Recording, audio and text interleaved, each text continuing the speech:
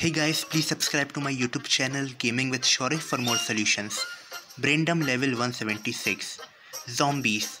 Help keep them out of the house. So we have to stop them from reaching the house. So just double tap on the on this wooden table. Double tap. And now bring this one over here and the second part over here. Like this. And now you will easily pass this level.